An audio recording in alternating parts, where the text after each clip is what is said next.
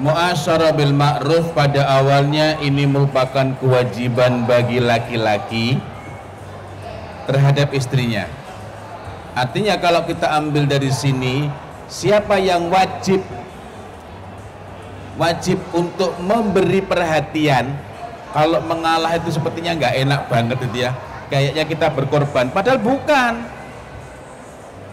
Padahal belum itu berkorban eh, padahal itu belum sampai ke taraf sana kita ini yang kita perlukan adalah bagaimana agar istri ini bisa plong.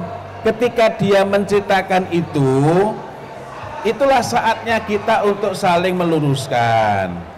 Ketika dia cerita bukan hanya kita diam karena kalau cuma diam patung polisi juga diam jadi pada saat dia cerita kita mendengarkan istimewa mendengarkan itu artinya memperhatikan apa yang diucapkan. Kadangkala dari perbincangan itu, apa yang bikin kita sumpet di kantor itu bisa plong sendiri loh. Manakala orientasi kita bukan aku duluan, aku duluan. Saudara-saudara, dari dari beberapa kasus rumah tangga, ketika saya minta waktu untuk ketemu masing-masing satu-satu bukan bersama, dan masing-masing ini kita arahkan untuk lebih punya keinginan mengambil inisiatif. Sama-sama mengalah itu bukan berarti dua-duanya tidak bercerita tetapi bagaimana dua-duanya itu kita arahkan untuk lebih mendahulukan yang lain maka yang terjadi mereka akan uh, lebih mudah mensyukuri, lebih mudah bahagia dengan penerimaan yang ada dari suami maupun istrinya. Jadi kembali lagi, siapa yang harus mengalah bukan mengalah, tetapi kewajiban awal terletak pada suami untuk memberikan uh, untuk mempergauli istrinya dengan baik muasyarah bil ma'ruf. Di antara bentuknya adalah mendengarkan. Ketika kita mendengarkan sekaligus kita arahkan. Kita arahkan itu tidak mesti dalam bentuk memberikan nasihat. Nasihat ada kaidah pokok nasihat itu qalla ringkes padat mudah dipahami. Jangan terlalu banyak berpanjang kata dalam memberikan nasihat. Yang kedua sabarlah. Karena nasihat itu tidak cukup dengan benar. Tawasubil hak itu bagus tetapi harus watawasubil sabar saling memberikan nasihat saling memberikan wasiat dengan sabar. Cukup tidak nanti dalam surat Al-Balad kita jumpai lagi watawasubil marhamah dan saling mengingatkan dengan penuh kasih sayang. Nah, bagaimana caranya? Saya sempat nulis walaupun ini bukan uh, mengenai hubungan suami istri, tetapi mengenai bagaimana cara kita mengasuh anak. Nanti bisa dicek di FB saya.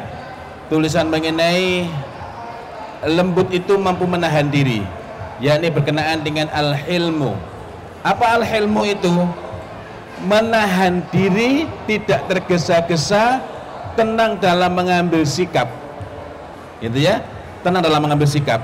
Jadi ketika istri lagi uring-uringan, waduh capek banget bukan bukan kemudian langsung kita nasihati sudah sabar. Semua itu kalau kalau kita sabar nanti akan apa namanya akan ada uh, solusinya lama-lama jengkel juga istri itu. Sabar-sabar tok.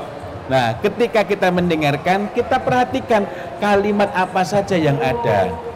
Kita berikan umpan balik. Lah kok bisa begitu? Bagaimana? Tapi bukan menyudutkan. Ada kalanya tanpa kita kasih solusi istri merasa didengar jika itu betul-betul masalah. Berbeda dengan yang tadi itu ya.